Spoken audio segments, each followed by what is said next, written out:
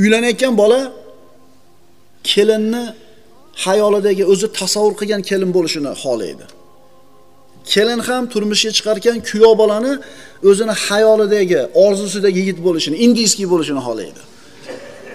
Doim meni qo'lida ko'tarib yuradi doim meni sizlab gapiradi e, o'pib erkaladi xullas shunday boshida ko'tarib yuradi deydi hayolida. Faqat unga xizmat qilishini xohlaydi. Kuyov bola ham xuddi shunaqa. Mana yangi uylanganlarimiz kulyapti. Yangi u ham bu narsa bitta narsani talab qilyapti bu ham bitta narsani talab qilyapti. Biri ikkinchisini xizmatini qilishni hech qaysi hayo keltirmayapti. Faqat menga xizmat qilinadi deyapti. Endi qarabsizki bir yil yarim yil o'tgandan keyin to'qnash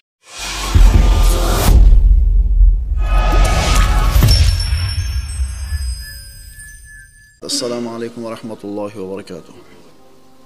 Payg'ambarimiz sollallohu alayhi vasallam aytadilar allimu avladakum va ahlikumul xayr va addibuhum. Farzandlaringiz va oilalaringizga yaxshilikni o'rgating ularga odob bering. Musulmon erkak kishi qiyomat kunida o'zini qilgan amallari uchun javobgar bo'ladi farzandlarni qilgan ishlari uchun javobgar bo'ladi. Chunki alloh taolo qur'onda ey iymon keltirganlar o'zinglarni va ahllaringlarni jahannam o'tidan saqlanglar degan. Kishi o'zini do'zaxdan saqlashligi qanchalik zarur bo'lsa farzandlarini oilasini saqlashligi ularni tarbiya qilishligi ham shunchalik zarur bo'ladi. Kishi qachon o'zini oilasini isloh qiladi? Qachoniki uyidagi jufti ayoli ham eri bilan bir xil fikrda bir xil tushunchalarda bo'ladigan bo'lsa. Agar er xotinni fikri bir tushunchalari bir maqsadlari bir bo'lsa bu oila saodatli bo'ladi. Ayol. O'zi farzandlarni ayollar tarbiyalaymiz. Xohlaysizlarmi xohlamaysizlarmi? Eriga rafiqa bo'lgan ayol. Rafiqa deganda nimani tushunamiz. Erini itoatida erini shokalasida namozxon ro'zador robbisini yaxshi ko'radi ollohni hukmida qoyim uy ishlarini rioya qiladi. Farzandlarni tarbiyasi bilan mashg'ul bo'lgan ayol. Bunday ayol faqat xotin emas birodarlar. Erkak kishini haqiqiy hayotdagi sherigi bo'ladi. Bu eri fikri hayoli bir vodiyda xotininiki boshqa bir vodiyda bo'ladigan bo'lsa bu xonadonda qanaqa turmush bo'lishligini bir tasavvur qilib ko'rsa bo'ladi. Ko'chada yurib o'zini o'tdan cho'qqa urib tof kelgan narsasini bir kunda shunday sarflab qo'yib nima qilay endi? Qilish kerak ekanda. Hamma qilyapti. Nima boshqalardan qolamizmi deydigan xotin emas. Erini holiga yetadigan ayol. Agar ayol kishi birodarlar yuksalsa iymonida eri bilan dunyoqarashi iymoni fikri idroki tenglashadigan bo'lsa maqsadi bir bo'ladigan bo'lsa bu oila albatta saodatli oila bo'ladi. Hozirgi kunda birodarlar hozirgi dunyoda til bilan aytganda xotin faqat uydagi xizmatkor emas. Haqiqiy erini hayotdagi sherigi bo'lishligi kerak. Ush bir ovqat qil eshik tozala iymondan bexabar dindan bexabar o'y fikri dunyo. Bunaqa ayoldan er zerikadi. Bunaqa ayoldan er zerikadi. Er ham ayol ham bir biridan zerikadi. Bunaqa xonadon hech qachon saodatli bo'lmaydi. Shuning uchun birodarlar farzandlarni tarbiyasidan avval ayollarni tarbiyasiga e'tibor qaratishlik kerak bo'ladi. Er xotinni o'rtasi qachon isloh bo'ladi? Qachon ularni o'rtasida intifoqchilik bir birini tushunishlik bo'ladi? Qachon? Shu to'rt tomoni tekis mikrovolnovkasi bo'lsa hammom alohida bo'lsa darvozaxonasi kafil bo'lsa yana qanaqa? Shumi er xotinni o'rtasida qachon ulfatlik paydo bo'ladi? Qachon ularni o'rtasida bir unus paydo bo'ladi? Ollohni tanisa. Ishonavering agar er xotin ollohni bir xil taniydigan bo'lsa bu xonadonda albatta saodat bo'ladi. Endi dunyoviy farovonlik bo'lgan uyda saodat bo'ladi. Hamma yo'g'i tekis bo'lgan oilani bolalarini tarbiyasi yaxshi bo'ladi deyilsa bu noto'g'ri bo'ladi. Noto'g'ri bo'ladi. Chunki dunyo matohi birodarlar. Senga doim xursandchilik berib turadigan narsa emas. Boshqacha qilib aytamiz senga doim xursandchilikni berib turadigan moddiy narsani o'zi yo'q. Masalan e, olib berasiz xursand bo'ladi besh kundan keyin oddiy holat. Kir yuvadigan mashina olib berasan qimmatrog'idan xursand bo'ladi bir hafta keyin unga ham ko'nikib qoladi. Ha uy olib berasan. Uy olib berasan varanglagan teringga sig'maysan ayoling ham xursand. Bir yildan keyin nima bo'ladi? Boboyida yo'q qoladi. Moshina sotib olasan bir hafta uxlamaysan quvonching cheki yo'q. Bir haftadan keyin nima bo'ladi? Nima demoqchimiz? Sizga doim xursandchilik berib turadigan dunyoviy dunyo matosi yo'q. Hamma narsadan odam zerikadi. Demak dunyo matohi bilan xursand bo'lishlik bu vaqtincha narsa. Ammo oiladagi saodatni davomiy qiladigan narsa Allohni tanish Allohdan qo'rqish. Ayolingizga qarab qachon quvonasiz? Robbingizni hukmida qoyima ekanligini ko'rganda quvonasiz. Avratlarni yopib yurganda uni ko'rib quvonasiz.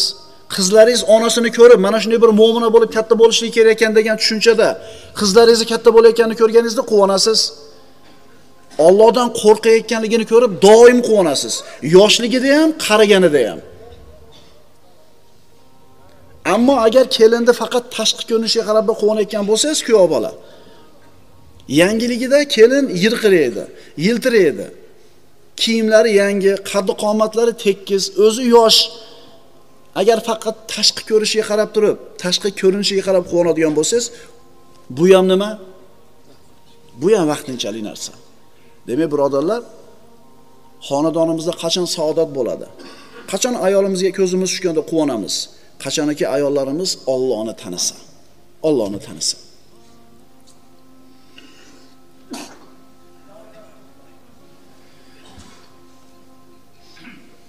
Moddiy jamlanish. Yoki foyda uchun jamlanish. Birov birovga uylanadi birov birovga turmushga chiqadi dunyosini havas qilib dunyosini ko'rib uyini moli dunyoni topib tutishini qarab turib qizini beradi yoki falonchini qiziga uylanadi. Agar bunaqa maqsadda oila qurilgan bo'lsa ishonavering bu oilada saodat bo'lmaydi. Chunki mana shu moddiy bir biriga ko'rsatayotgan foydasi uzilib qoladigan bo'lsa o'rtadagi boyagi ularni bog'layotgan narsa ham uzilib qoladi. Ammo Alloh uchun qurilgan oila bo'lsa dini uchun uylangan bo'lsangiz bir ayolga bu din birodarlar qiyomat go'rga kirguncha o'zi bilan birga bo'ladi. Uylanayotgan bola kelinni hayolidagi o'zi tasavvur qilgan kelin bo'lishini xohlaydi. Kelin ham turmushga chiqarkan kuyov bolani o'zini hayolidagi orzusidagi yigit bo'lishini indiyskiy bo'lishini xohlaydi. Doim meni qo'lida ko'tarib yuradi doim meni sizlab gapiradi e, o'pib erkaladi xullas boshida ko'tarib yuradi deydi. Hayolida. Faqat unga xizmat qilishini xohlaydi. Kuyov bola ham xuddi shunaqa. Lekin vaqt o'tishi bilan vaqt o'tishi bilan mana yangi uylanganlarimiz kulyapti. Yangi u ham bu narsa bitta narsani talab qilyapti bu ham bitta narsani talab qilyapti biri ikkinchisini xizmatini qilishni hech qaysi hayol keltirmayapti. Faqat menga xizmat qilinadi deyapti. Ini qarabsizki bir yil yarim yil o'tgandan keyin to'qnash bo'ladi. Ini kelishmovchiliklar paydo bo'ladi.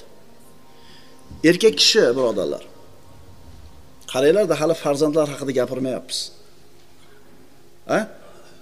Agar tarbiya qilishlikda ayoli sizga sherik bo'lmasa bolalarni islomiy tarbiya bilan tarbiyalashi kerakligiga ayolingiz ham sizga yordamchi bo'lmaydigan bo'lsa ishonavering qo'lingizdan hech narsa kelmaydi. Ayolingiz yordamchi bo'lsin birinchi sizga. Kishi erkak kishi ayoli bilan qachon saodatli bo'ladi? Nima qilsa saodatli bo'ladi? Ayoliga robbisini tanitsa. Ayoli robbisini tanisin shundan keyin bu ayol o'zini erini baxtli qila oladi shundan keyin bu ayol erini qanaqa haqlari borligini biladi. Shundan keyin ayol Allohni tanigandan keyin erimni xizmatini qilsam bu ibodat ekan. Erimni rozi qilsam Allohning roziligiga yaqinlashaman ekan deydi shunda erini xizmatida qoyim bo'ladi. Erkak kishi ham ayolini Allohni taniganidan keyin yelkasidagi omonat ekanligini tushunsa unga qilgan muomalasiga qiyomatda javob berishligini o'ylasa ayolini xizmatida bo'ladi. Er Allohdan qo'rqib ayolni xizmatida ayol Allohdan qo'rqib erni xizmatida. Faqat shunda xonadon saodatli bo'ladi. Nima demadinglar? Islomiy jamiyatda birodarlar odamlarda erkak bilan ayolni o'rtasidagi aloqani iymon bog'laydi. Allohdan qo'rqish asosi ustiga quriladi. Endi dunyoparast odamlarda moddani ustiga quriladi. Masalan, брачный kontrakt deb qo'yadi, mana bilasizlar, g'arbda eshitgansizlar. Turmushga chiqadi, kontrakt tuzadi. Mabodo ajrashsak, menga moncha, senga moncha. o'shaning uchun iloji boricha boyroq odamga turmushga chiqishga harakat qiladi bu g'arbli ayollar, qari bo'lsa ham, xunuk bo'lsa ham, lekin nimasi bo'lsin? Qarang, u turmushga chiqqandagi niyati buzuq o'zi. Unga turmushga chiqadi, 1 yil, 2 yil yashaydida, ozgina sabab bo'lib qolsa ajrashadi. Chunki maqsad nima edi bulardan? Maqsad undan yulib olishlik edi. Ammo musulmon ayol musulmon erkakka tegar ekan, musulmon erkak musulmon ayolga uylanar ekan, Allohning roziligini o'ylab turib turmush quradi. o'shaning uchun ukalar ajrashishlik nihoyatda ko'p. Ajratib olishlik ham nihoyatda ko'p. Arzimagan sabab bilan onalar arzimagan dunyoda latta luttasini bir ikki og'iz sassiq gap uchun oilani shart buzib tashlayapti. Mana kecha bittasi shikoyat qilib keldi. Kelinim yashayman deyapti. ham yashayman deyapti. Ikki tomondagi xotin unamayapti. Endi bu xotinlarni erlari tarbiyalaganida turmadi. Qizi yashayman deyapti. Qizi ketaman desa ushlab turishib kelmadi, majbur. Yalanib kelishsin deyapti ekan. Bu nima? Qanaqa tushuncha? Qani kafillik ikkinchi turmushi bilan baxtli bo'lib ketishiga bu bolani? Bu turmushga chiqib ko'rgan juvonda birov olishligiga qani kafillik? O'shuning uchun birodarlar, farzand tarbiyasidagi birinchi qiladigan ishimiz ayollarda tarbiyasi. Ayollarda tarbiyasi. Erkak kishini hayotida qiladigan eng yaxshi amali bilasizlarmi nima? Pul topib, chek olib, o'g'illariga imorat solib, uylab joylab, to'r yog'ini taqqilib ketishi. Bu bizni tushuncha shunaqa. Va mana shu narsani yo'lida umr sarf bo'lib ketyapti. Ikkita bo'li bordi, uylab bittasini eshik qilib chiqardi. Bo'ldi, endi bemalol ibodat yo'q. Yana pul topish kerak. Shehlar nima bo'lib ketyapti? O'g'lim ikkita o'g'li bor. Kichigida 3 ta bor. Birodarlar, musulmon odam rizq Allohdan deb iymon keltirgan bo'ladi.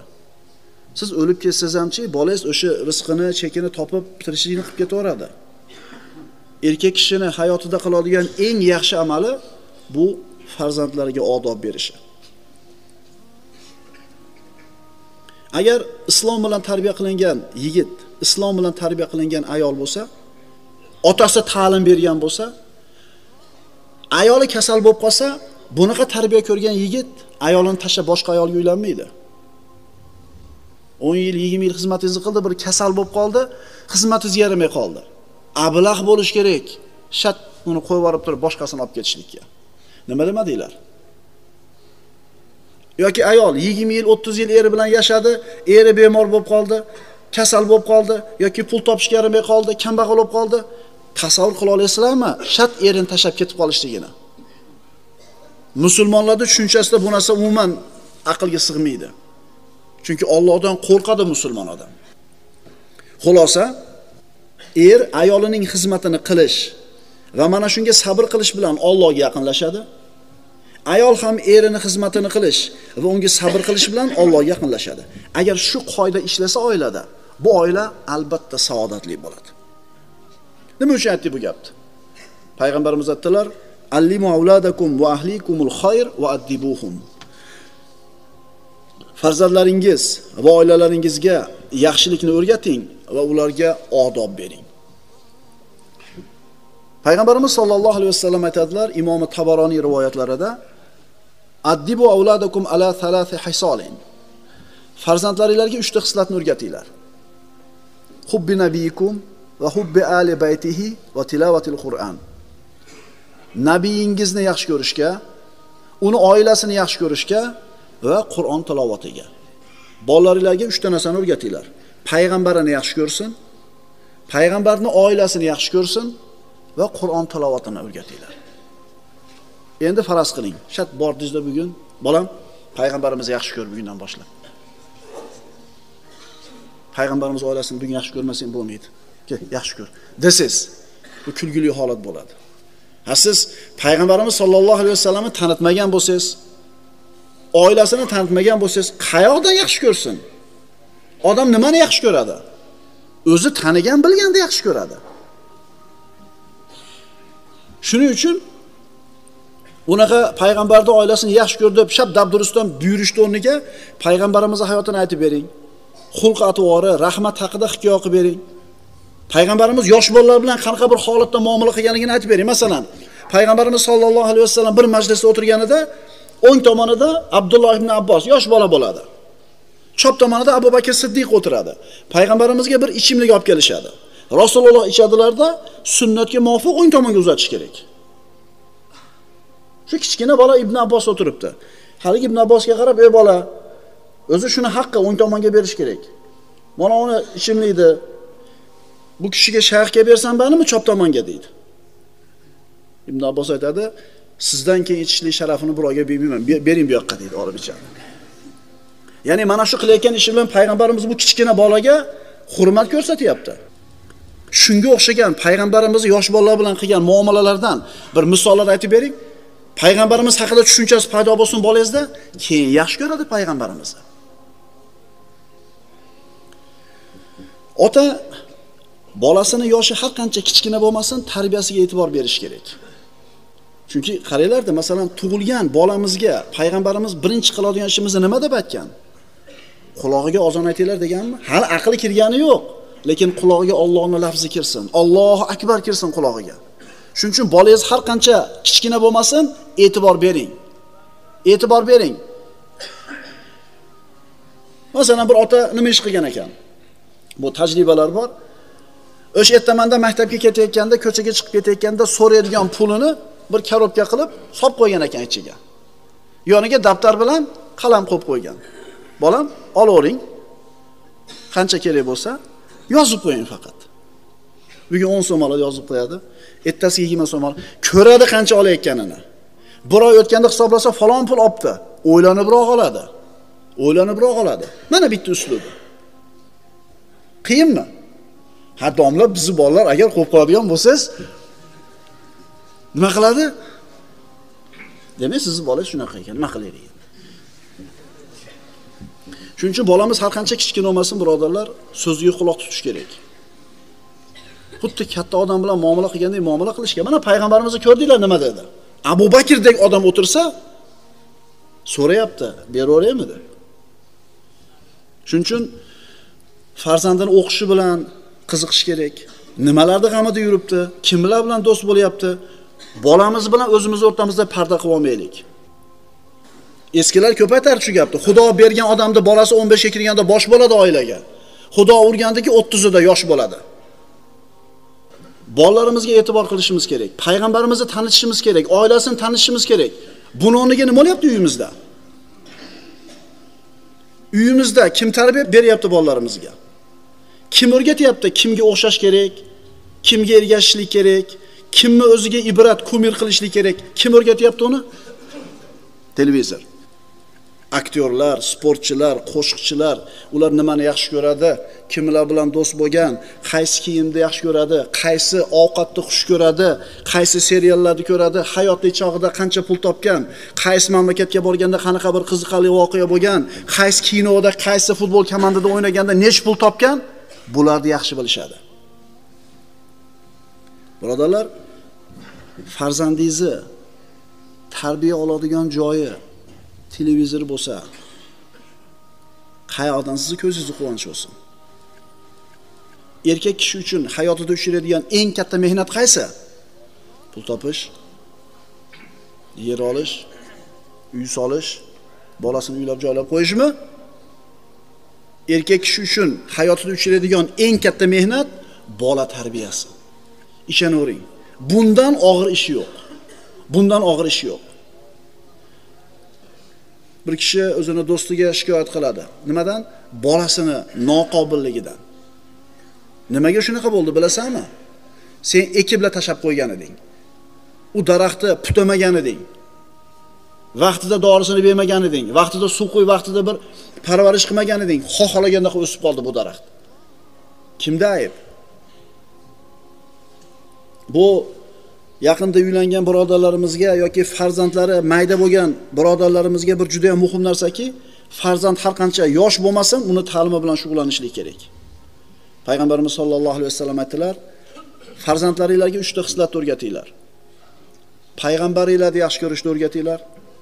Payg'ambarni oilasini yaxshi ko'rishni o'rgatinglar. Va nimani? Qur'on tilovatini. Yoshroq odamlar bilan o'tirib qolsangiz yoki quloq solsangiz so'ziga gapi faqat futbol haqida.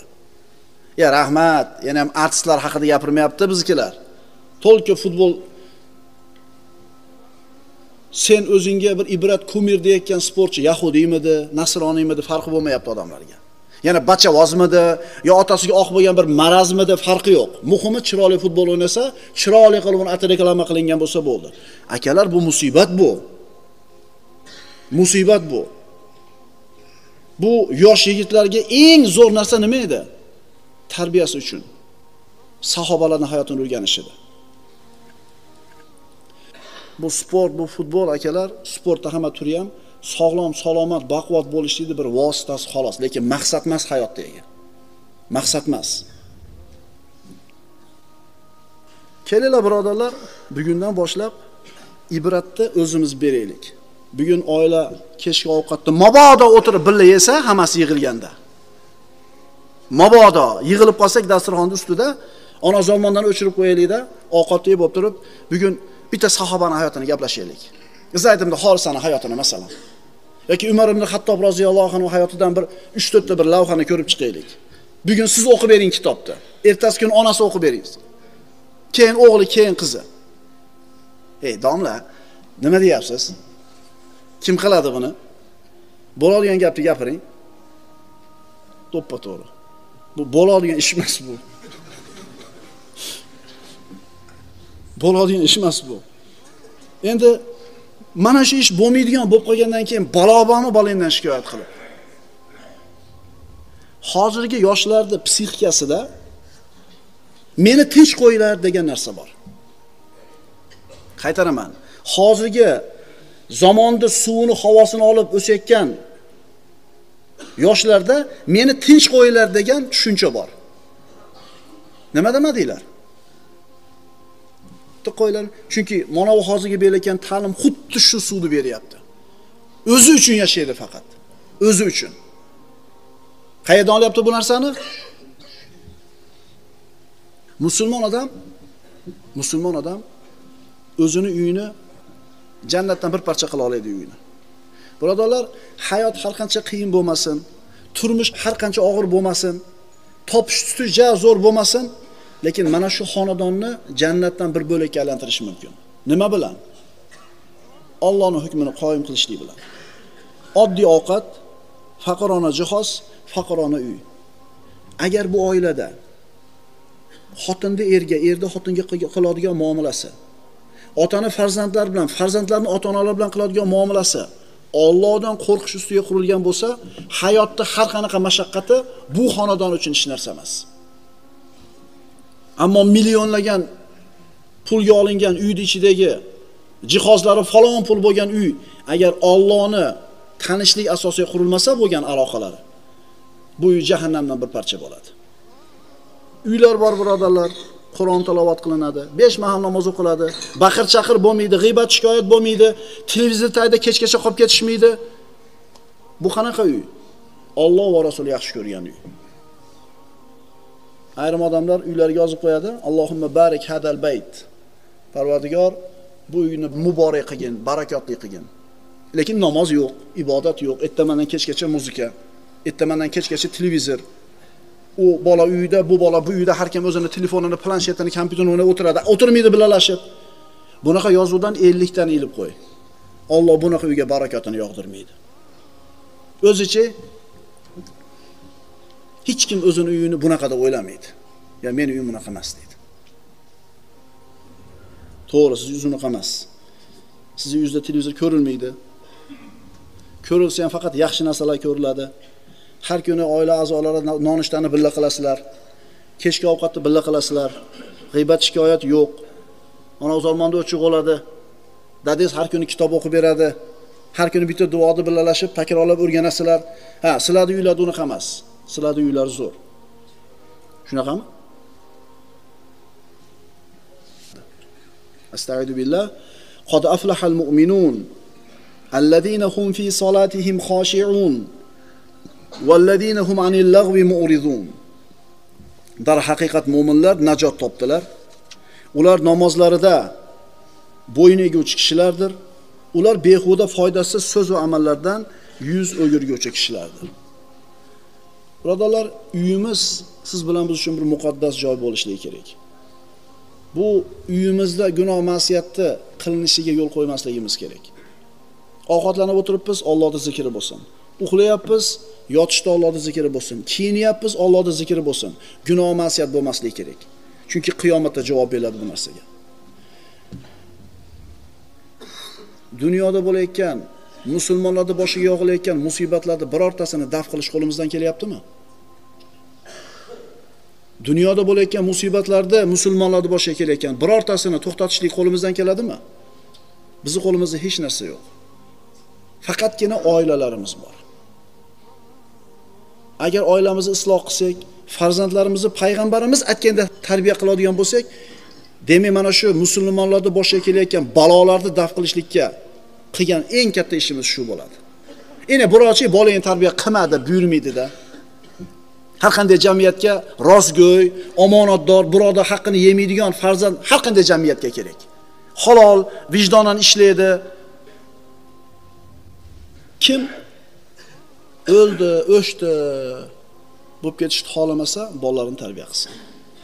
Kim o'ldi o'chdi bo'lib ketishni xohlamasa farzandlarini tarbiya qilsin. Bir odam farzandi ulg'ayganida Allohni yaxshi quli ekanligini ko'rsa, haromdan uzoq bo'layotganligini, Allohning buyruqlarini bajarayotganligini ko'rgan bo'lsa, shuni ko'rsa, shu farzand milliard so'mdan ham afzal bo'ladi bu ota uchun. Chunki siz o'lib ketgandan keyin qoldirgan dunyoyingizga javob berasiz.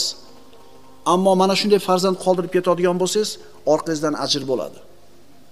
Qaytarib aytamiz, farzandini toatda, ibodatda, istiqomatda, taqvoda ko'rib o'tishligi kishini. Demak bu odam tirik bo'ladi. Chunki farzand otasining davomchisi bo'ladi. Zamonamizda katta bir jomiyani imom vafot etdi. Oradan bir qancha vaqt o'tib uni o'rniga o'g'li imom xatib bo'ldi. Otasi qilgan ishni davom etkazdi demak bu ota o'lgani yo'q. Bu otani ishi davom etyapti. Agar mana shu farzandini yana bitta farzandi ilmli bo'lib minbarga chiqib odamlarga Allohning dinini tanitsa, demak yana davom etdi bu odam hayoti. Xulosa, kim o'ldi, o'chdi bo'lib ketishni xolamasa, farzandlarini islomiy tarbiya bilan tarbiyalasin. Payg'ambarimiz sollallohu alayhi vasallam aytadilar: "Iza mata ibnu Adam inqata amaluhu illa min thalath." Agar odam bolasi vafot etsa, uni 3 ta amalidan boshqa hamma amallari to'xtaydi. Faqat 3 ta ishi unga savob berib turadi. Sadaqatun joriya.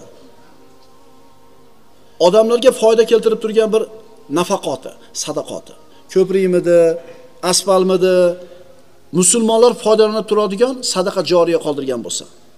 Va ilmun yuntafau bihi. Odamlar foydalanib turgan ilm qoldirib ketgan bo'lsa, mana shundan ham o'lganingizdan keyin savob borib turadi. Va valadin solihin yad'ula. Uchinchisi, uni haqqiga duo qilib turadigan solih farzand. Endi ilm hammamizda ham bor emas. To'g'rimi? Hammamizga ham Alloh bermadi ilmni yoki o'zimiz o'qimadik. Hammamizni qo'limizda pul ham yo'q, sadaqa joriya qoldiraylik desak, lekin nima bor qo'limizda? Farzand bormi? O'ldi, o'chdi bo'lishni xohlamasangiz, bolangizga Allohni taniting, islomiy tarbiyani bering. Umar ibn Xattob roziyallohu anhu kunlarning birida ko'chada ketib borar ekan, juda bir savlatli odam bo'lgan, haybatli odam bo'lgan, sirli, viqorli odam bo'lgan. U odamni haybatidan hatto katta kibor sahobalar ham haybatlanishar edi. Umar ibn Xattob kelsa shu ko'cha-ko'chalarga burilib burilib ketib qolardi, peshonasida turmaylik deb, siri bosganidan. kunlarni birida Umar ibn Xattob ko'chada ketayotsa, bir to'p yosh bolalar o'ynayotgandi. Xalifani ko'rib tirqirab har tomonga qochib ketishdi. Faqat bitta bola qochmasdan turdi. Xalifa bu bolani jur'atidan, jasoratidan hayron qolib oldiga bordida, "Ey bola" dedi. "Nimaga sen qochmayapsan boshqalardaqa?" dedi. Hali yigit aytdi, "Ey amiral Mu'minin, sizni zulmingizdan qo'rqish uchun men zolim emasman. Sizni jazoingizdan qo'rqish uchun bir gunoh qilganim yo'q. Yo'l keng" dedi. Siz ham sig'asiz, biz ham sig'amiz, o'taverasiz dedi. Qarang, katta kishilar haybatlanib Umar ibn hattobni oldida turolmayotgan paytda yuragini quvvati yetmay. Bu yosh bola turibdi. E, A kimni bolasisan desa, Zubayr ibn al-Avvomda deydi.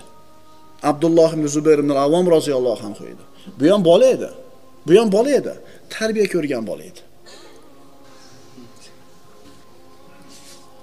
Mana shu tariximizda yosh bolalar bilan bo'lgan mavqiflardan bir ajib bir suratlar bor. Mana ayrimlarni o'qib beraman. Xalifa Abdul Malik ibn Marvon huzuriga bir jamoa kishi kirdi. 5 tamida 10 ta odam kirdi. Ularning orasida bir yosh bola ham bor edi. Xalifa bu yosh bolani kirganini ko'rib jahli chiqdi. Abdul Malik ibn Marvon eshikda oldida turadigan odam chaqirib aytdi, "Ey" dedi. "To'g'ri kelgan yosh bolani kirgizib yuborasanmi?" dedi. "Men oldimga" dedi. Shunda haligi yosh bola turib aytdiki, "Ey amir" dedi. "Men sizni huzuringizga kirishim bilan sizni sharafingizga, hurmatingizga so'z tegmaydi" dedi. "Ammo men uchun sharaf sizni oldingizda turish" dedi. Bizi yurtimizga mashaqqat keldi. Oziq-ovqat yo'q bo'ldi. Sizlarda ortiqcha mol bor ekan. Yosh bolani gapi xalifaga gapiryapti. Agar ular ana shu mollar biz uchun bo'lsa, nimaga bermayapsizlar? Qiylandik biz. Agar u sizlarning qo'linglardagi mol Allohning mulki bo'lsa, bandalarga beringlar. Agar u mol qo'linglardagi sizlarniki bo'lsa, bizga sadaqa qilinglar dedi. Xalifa hali bolani gapini eshitib, "Vallohi" dedi, "Bu bola" dedi. talabini bajarmaslikka biz uchun bironta ham uzr qoldirmadi dedi. Meni molim desa javobni aytib qo'ydi. Allohning moli desa javobni aytib qo'ydi. Birodalar, jur'atli bolani pul bilan o'lchab bo'lmaydi qadrini. Yurakli, jur'atli bolani o'lchab bo'lmaydi. Umar ibn Abdulaziz xalifa bo'ldi. Uni tabriklash uchun atrofdan elchilar kelishni boshladi. Hijozliklardan bir jamoa kirdi, ularni boshlig'i 10 dan o'tmagan yosh bola edi. Yoshi 10 dan oshmagan yosh bola mana shu Hijozliklarning jamoasini boshlig'i bo'lib kirdi. Endi hamma xalifani xalifa bo'lganligi bilan tabrikladi, tabrikladi. Endi navbat Hijozliklar kelganda bo'yiga 10 yashar bo'lmagan bola turdi. Turib gapirmoqchi bo'ldi, Sen o'tir dedi xalifa. Sendan yosh kattaroq tursin dedi. Ya'ni shuncha Hijozlikdan kelgan 10 ta 15 ta odamdan gapiradigan odam yo'qmi sendan boshqa? O'tir sen dedi. Yosh bola deb pisand qilmadi buni. Bu bola nima dedi? O'tirib oldimi? Yig'lab yubordimi? Nima dedi? Qarang, shu 10 ta odamga boshliq bo'lib keldimi? Demak, shunga loyiqda bu bola. Alloh amirni isloh qilsin. Kishini qadri ikkita kichkina narsasi bilan bo'ladi. Qalbi bilan, tili bilan dedi. Yoshi bilan, bo'yi bilan demayapti. Kishini qadri ikkita narsa bilan belgilanadi, ey amir, tili bilan, qalbi bilan. Agar Alloh bu odamga lafz qiluvchi, so'zlovchi tilni bergan bo'lsa, saqlovchi qalbni bergan bo'lsa, gapirishga haqqi bor uni ham dedi. Agar dedi, siz aytganda faqat yosh bilan bo'lganida eshitdi. Bu taxtga xalifalikka sizdan ko'ra yosh kattaroq odamlar bor edi dedi. On qarang, bu kimga gapiryapti? Bu, bu o'sha davrdagi eng qudratli bo'lgan podshohga gapiryapti. Agar siz aytganda faqat yosh bilan bo'lganda odamning qadri, bu taxtga sizdan ko'ra haqliroq yosh katta odamlar bor edi deyapti. Insonning qadri qalbi bilan, tili bilan deyapti, qiymati.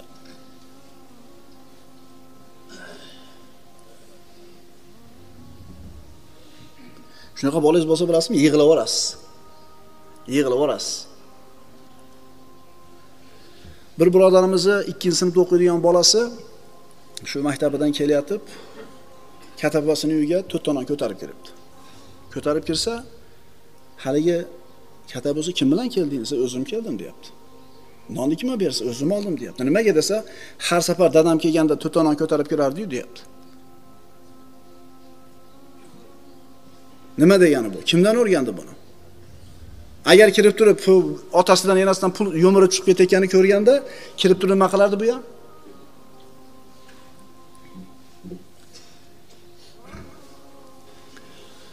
nima demoqchimiz? Bolangizni jur'atini yoshligidan o'zi sindirib qo'yasiz. Bolangizni zehni past bo'lsa qo'lingizni yuvib qo'ltig'ingizga urmang shoshilmang.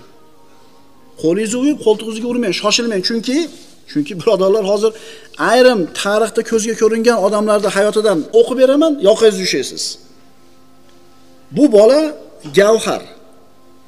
Turpoqni ichidagi toshni ichidagi gavhar buni kavlab olishlik kerak. Undagi qobiliyatlarni ko'rish kerak o'rganib chiqish kerak buni rivojlantirishlik kerak. Zehni past bo'lsanglar bo'ldi bu odam bo'lmaydi demang. Bir yil sabr qiling ikki yil sabr qiling sabr qiling sizni bolangiz bu. Orqangizdan sizga duo yuboradigan sizga savob jo'natadigan bola. Qo'lingizni etni yuvolmang bolangizdan. Qarang isak nyuton kim bo'lgan? Fizikani asoschilaridan bo'lgan. Shu isak nyuton birodarlar sinfidagi eng oxirgi qoloq o'quvchi bo'lgan ekan. Sinfdoshlardan bittasi qattiq urib qo'yganda kuchi yetmay kaltayib alam qilganidan aytgan ekan men seni ilm bilan yengaman. degan ekan shu iqtidor ochilib isak nyuton bo'lib ketgan. Albert Einstein zamonaviy fizikani asoschisi.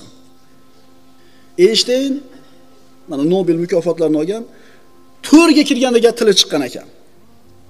To'rga kirganda yetti yoshga kirganda o'qishni o'rgangan tengqurlaridan keyinroq maktabga borgan yomon o'qigan o'n besh yoshida umuman gimnaziyada o'qiy olmadi deb haydab yuborilgan. Nima deysizlar? Betxoven. Kim bu? Shu odam mana geniylardan deyiladi muzika dunyosini geniylardan deyiladi. Daholaridan endi bizni tilda yozishda orfografiya xatolarni mingta qilgan ekan. Ko'paytirish bilan bo'lishdi umrini oxirigacha o'zlashtira olmagan ekan. Matematikskiy talant bo'lmagan ammo bu tomondagi talanti bo'lgan. Dunyo tan olgan anton pavlovich chexov kim bo'lgan bu? Chexov yaxshi o'qimagan uchun sinfida ikki marta qolgan. Bitta sinfda ikki marta qolgan yaxshi o'qimaganligi uchun. Akademik korolyov. Kim bo'lgan bu? Sovet kosmonavtikasini asoschilaridan naq uch bahoga o'qigan ekan. Qaranglar akalar qaranglar shunaqa bir odamlar chiqqan ekan dunyo maydonida bir non taratgan ko'zga ko'ringan odamlar. Agar bularni ham kimdir shunday bu odam bo'lmaydi bu deb turib qo'lini yuvib qo'ltig'ini yuvib qo'ysa nima bo'lardi shuning uchun noumid bo'lmanglar akalar ukalar. Rizqini har qanaqasiga topib yeydi. Ilm yo'liga targ'ib qilinglar bolalarni ehtimol shunday bir karomat egalari chiqib qolar farzandlarimizdan. Haqiqiy baxtsiz odam kim? Haqiqiy baxtsiz odam ko'chadagi omadsizligini ko'chadagi badbaxtligini uyiga ham ko'tarib olib keladigan odam. Safar qiladi odam besh kun o'n kun uzoq bo'ladi. Farzandlarini sog'inadi. O'g'lini sog'inadi qizini sog'inadi. Alloh taolo siz bilan bizni mana shunday qilib yaratgan. Farzandlarimizni yaxshi ko'ramiz sog'inamiz. Ammo kishi ko'chadagi ishi bilan ovora bo'lib oilasiga vaqt ochmaydi bir kunchi shart yig'ishtiring ishni o'lib ketsin. Shunday bir peshin bo'lmasdan uyga kelingda bolalarga o'tiringlar mashinaga bir aylanib kelamizda endi bo'lganmi bir marta shunaqa narsa. Shat do'konda yopdingiz janini olsin bir gap bo'lar. Shat mashinaga o'tirib yuringlar bora bir aylantirib kelaman sizlarni. Bugun kechgacha bir aylantirib keldingiz. Zo'r bo'lganmi? Kim xursand bo'lgan bundan bilasizmi? Siz o'zingiz ko'proq xursand bo'lasiz. Chunki bolalar his qiladi biz kerak ekanmiz otamizga. Otamiz bizni bizni tarbiyamiz bilan yoki bizga e'tibori bor ekan deb turib e, bolalarni bosh osmonga umrini oxirigacha esdan chiqarmaydi. Umridan oxirigacha esdan chiqarmaydi. Lekin unaqa yo'q. Mana shu mingta odamdan bitta odam qo'l ko'tardi mana. Ish ish ish ish ish ish ish. To'rtta devorni ichida o'tiribdi. Toza havoga chiqdi yuguradi o'ynaydi. Shu oddiy ish bilan bolangizni qalbidan juda bir yuqori joydan joy oldingiz va bu qilgan ishingiz dunyoviy ish hisoblanmaydi. Oxirat uchun bo'ladi. Oxirat uchun. Mana qilib ko'ringlarda shat olib borib kelingda o'zingiz qanaqa saodatni his qilganingizni ko'rasiz. Maza qilasiz. Payg'ambarimiz sollallohu alayhi vasallam siz bilan bizdan ko'ra birodarlar ishi tashvishi ko'p bo'lgan zot qarang risolatni insoniyatga yetish kerak bo'lgan Allohning omonatdori vahiyni egasi bo'lgan zot uyiga kelardida to'r oyoqlab turib berardi. Nabiralari hasan va husayn yelkasiga minib payg'ambarimiz ot bo'lib tuya bo'lib ularni ko'tarib yurardi. Endi qo'l ko'tarib qo'yinglar. Nevaralarni yoki bolalariga shunaqa qilib turib yelkasida ko'tarib ot bo'lib berganlar. Mashaalloh bunaqalar ko'proq ekan alhamdulillah. Bu bu arzonroqda bu. ish tashlab kelishdan ko'ra yengil. Lekin shuni ham qilmagan ekan ko'pchilik. Bor bor dada o'ynaylik deydi. To'rga kirgan bolangiz. Bor deysiz. Bor olib chiqmayman deysiz. Endi qayoqdan sizni yaxshi ko'rsin bu? Rasululloh sollallohu alayhi vasallam har bitta hayotimizdagi ishda ibrat bo'lgan zot yelkasiga kuragiga beliga o'tkazib to'r oyoqlab yurib tasavvur qiling muhammad alayhissalomni. Ni'mal jamalu jamalukuma ni'mal hamalani antuma. Tuyalaringiz naqadar yaxshi tuya va ikkingiz naqadar yaxshi minuvchisizlar deb ko'tarib yurardi. Rasululloh sollallohu alayhi vasallam qo'lida bolasini ushlab turib namoz o'qigani haqida rivoyatlar bor. Rasululloh sajda qilib turganida mana shu nabiralardan bittasi kelib yelkasiga o'tirib olganida imom bo'lib o'qiyapti payg'ambarimiz namozda. Rasululloh sajdadan turmasdan turaveradi. Sahobalar turishaveradi sajdada. Uzoq bo'lib ketdi. Shunda sahobalardan bittasi kallang ko'tarib bunday qaraydi nima gap ekan deb qarasa rasulullohni yelkasida nabirasi o'tiribdi. Sajda qilgan holida. Nabiram yelkamga minib oluvdi to o'zi qonib tushmaguncha dedi bezovta qilishni xohlamadim deyapti. Qaysi ishda? Qaysi ishda? Namoz o'qiyotganda qaranglar birodarlar farzand tarbiyasi shunaqa muhim ekanki rasululloh namozini nima qilyapti? Cho'zib yuborsa cho'zib yuboryaptiki lekin nabirasini ko'ngliga sindirmayapti. Yana ham biz bolalarimiz yuribdida.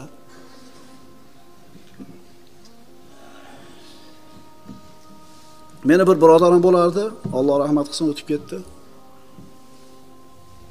Otasi sizlab gapirardi shu bolani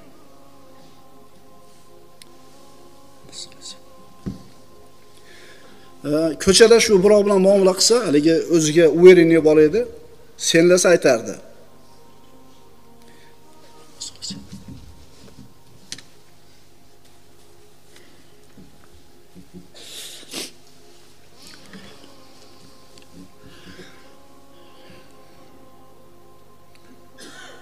Meni senlamanglar chunki meni otam ham senlamaydi derdi. Alloh rahmat qilsin solih odam edi. Juda ko'pchilikni hidoyatiga sabab bo'lib ketgan edi. Alloh rahmat qilsin.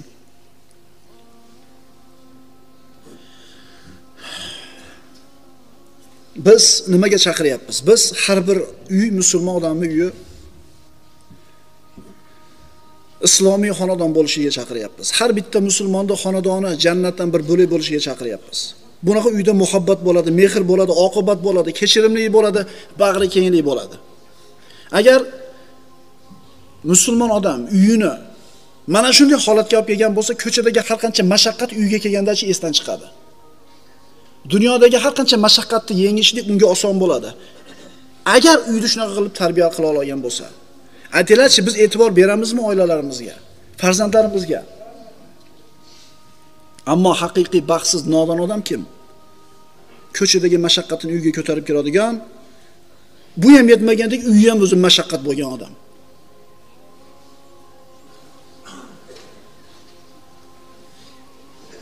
Musulmon ota musulmon erkak farzandlarini orasida adolat qilishligi kerak. Ittaqulloha va bayna avladikum. Imom buxoriy va muslimdan keltirilgan hadis payg'ambarimiz aytadilar ollohdan qo'rqinglar farzandlaringiz orasida adolat qilinglar. Ollohdan qo'rqinglar farzandlar orasida adolat qilinglar. Ollohdan qo'rqishlikdan keyin zikr qilayotgan ish nima bo'lyapti? Farzandlar o'rtasida adolat qilishlik. Bu mayda ishlarda tabassum bilan qarashda sizlab muomala qilishda o'pib erkalatishlikda tabassumda. Ha bitta bolangizni boshqalardan ko'ra ko'proq yaxshi ko'rishingiz mumkin. Bunga gunohkor bo'lmaysiz. Kenjasimidi kattasimidi o'g'lingizmi qizingizmi xullas bittasini ko'proq yaxshi ko'rishingiz mumkin. Bunga gunohkor bo'lmaysiz.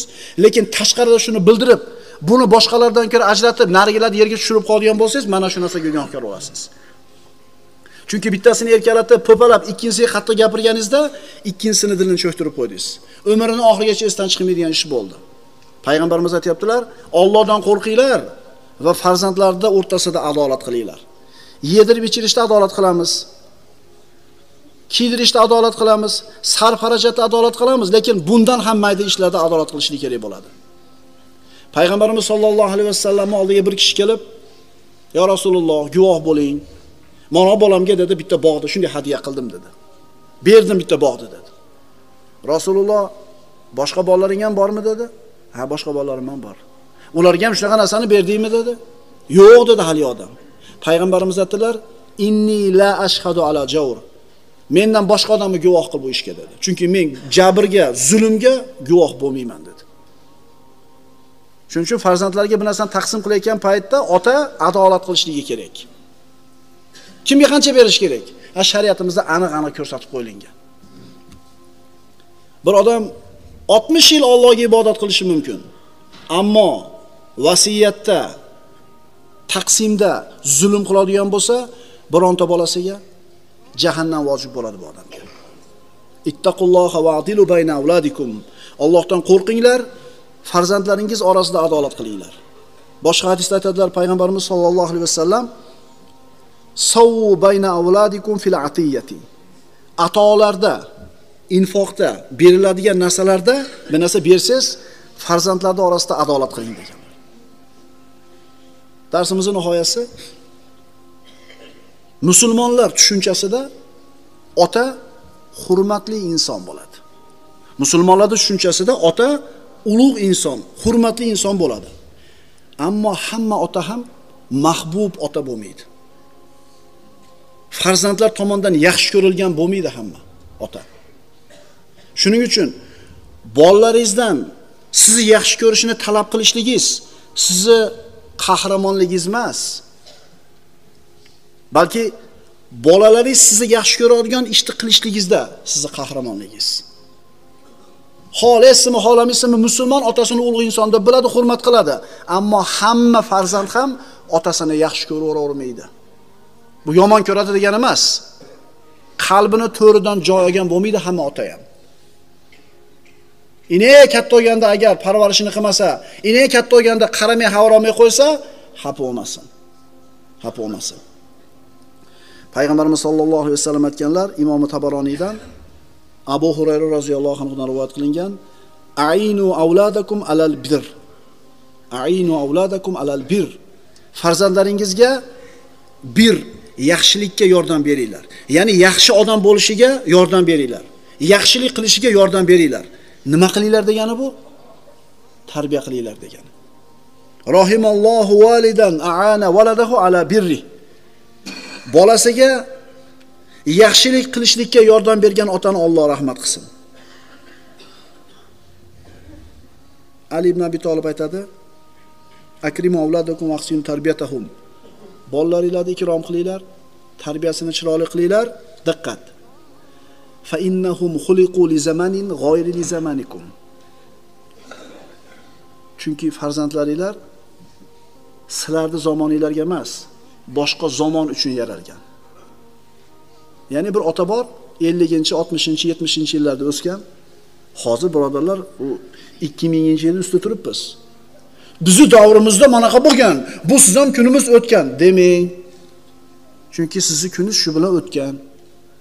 Bu zamonni talablari boshqacha. Bizni davrimizda bunaqa bo'lmagan biz peshkom yurib qilar edik anaqa qilar edik. U sizni zamoningiz shunaqa edi. Hozir bolani talabi bor bir narsaga, masalan, kompyuterga, ta'limi uchun modomiki bolangizga kerak bo'layotgan zamon talab qilayotgan narsa harom emasmi?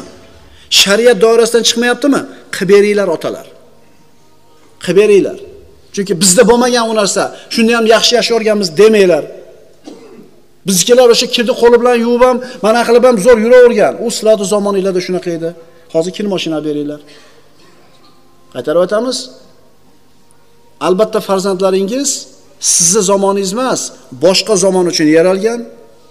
Modomiki farzand talab qilayotgan narsa kerakmi? Shariat doirasidan chiqib ketmaganmi? Bu narsani qilib berishimiz lozim bo'ladi.